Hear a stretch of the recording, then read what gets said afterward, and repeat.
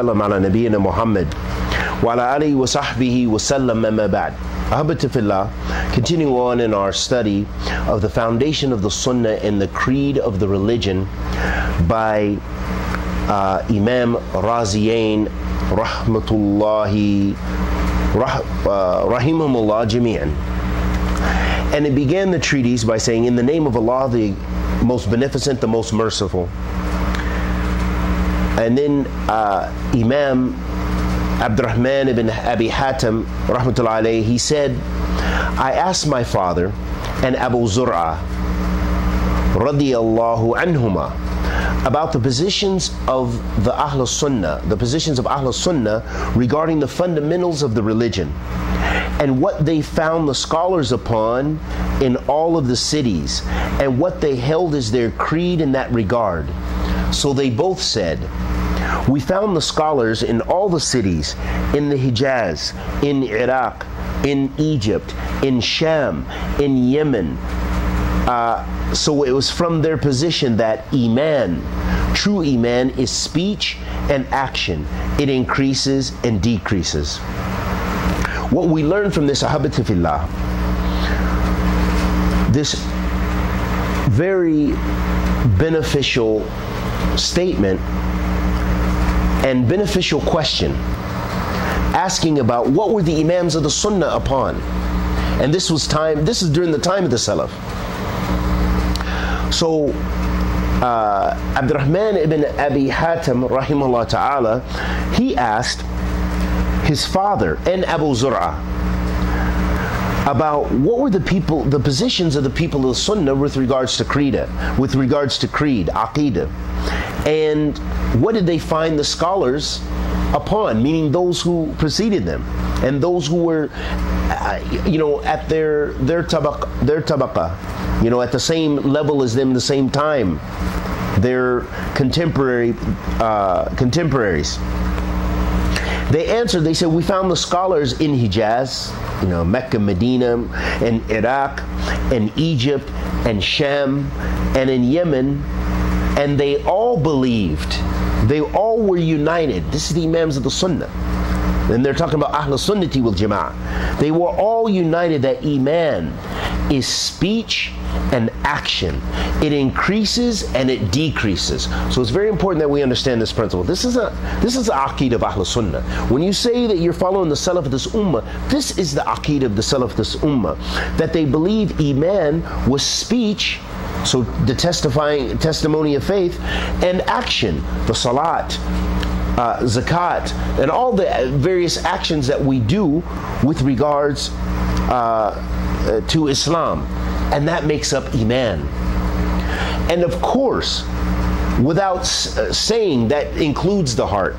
So it wasn't necessary. So you'll find in a lot of the books of the Salaf that they mention that iman huwa qawl wal amal that its statements and its actions.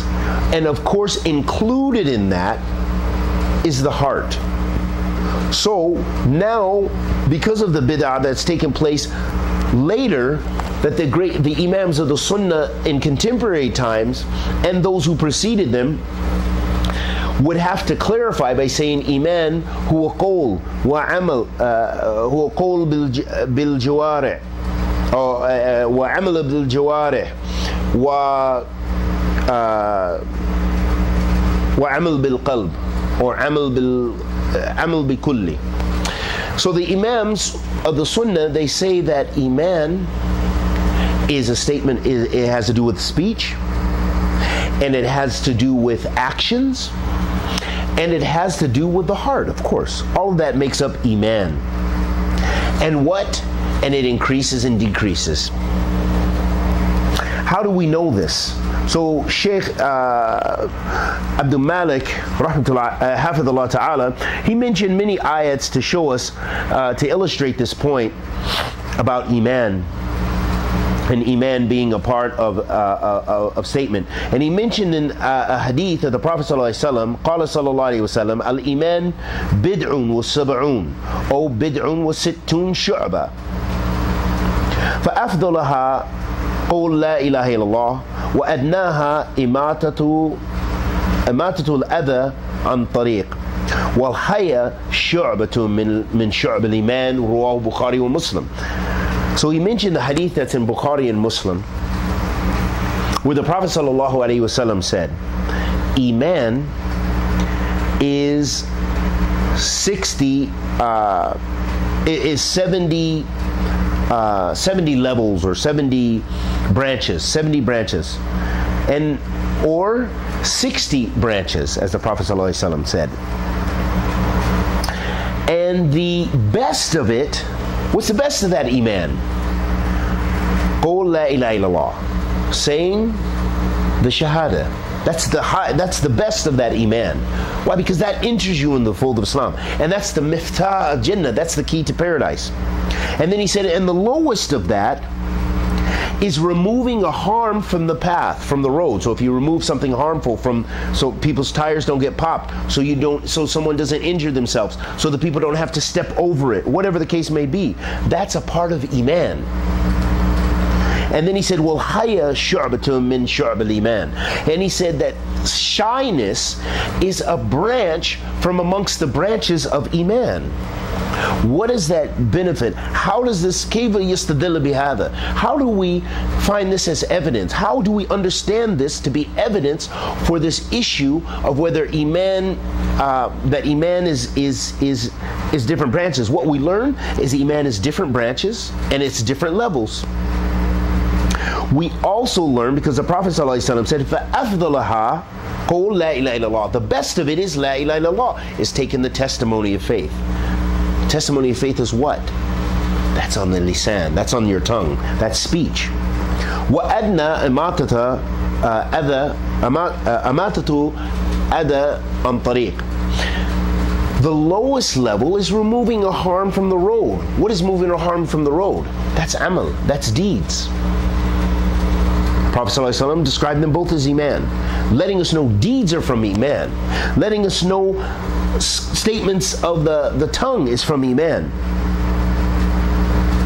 And haya, shyness, is from Iman. Highness, haya, where is haya?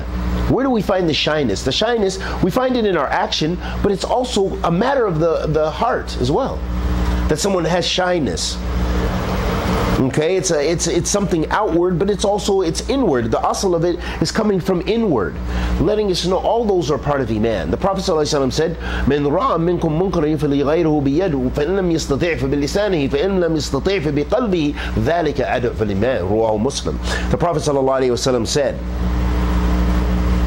Whoever sees a munkar, something sinful from amongst you, then change it uh, with his hand And if he's, he's unable to do so, then speak out against it. And if he's unable to do that, then hate it in his heart. And then the Prophet ﷺ said what? Which is the shahid, which is the main point of mention in this hadith.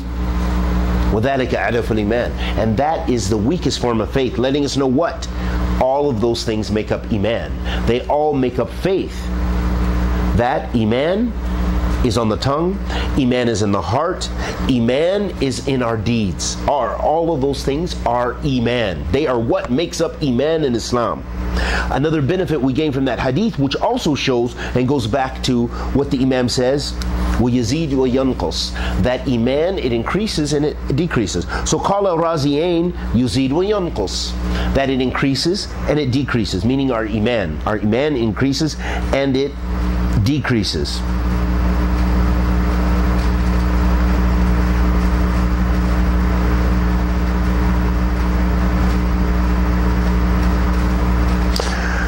Subhanahu wa ta'ala says في كتاب الكريم هو الذي أنزل السكينة في قلوب الإيمان في قلوب الإيمان في القلوب المؤمنين ليز ليزدادوا إيمانا مع إيمانهم.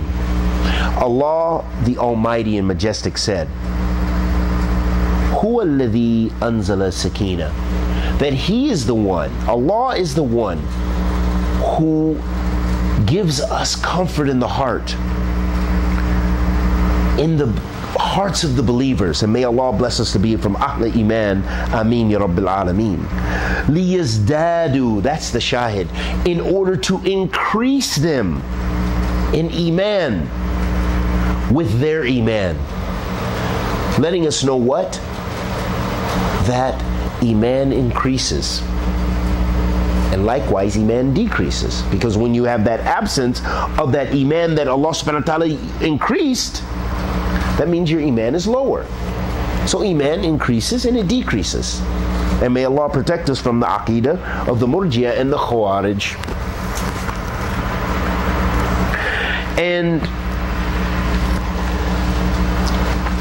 there are many ahadith as well that mention the fact or prove to us that Iman also uh, increases and decreases.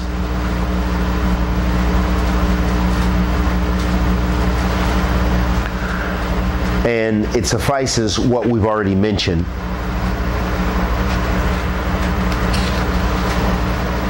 Then the Imam said, and so this is also the aqid of Ahl Sunnah, as the, the great Imam Imamain Raziyain said. And the Quran is a speech of Allah. It is not created in all its aspects. And pre-decree its good and its bad is from Allah, the mighty and majestic. So he said, and the Quran is the speech of Allah. And the Quran is the speech of Allah. Have the kalam Allah. Although the groups of deviants, like the Mu'tazila, they disagree with this. For example, this is as uh, Sheikh Abdul Malik mentions. He said, "خلاف للمعتزلة الزاعمين بأنه عبارة عن كلام الله." He said this differs from the way of the Mu'tazila.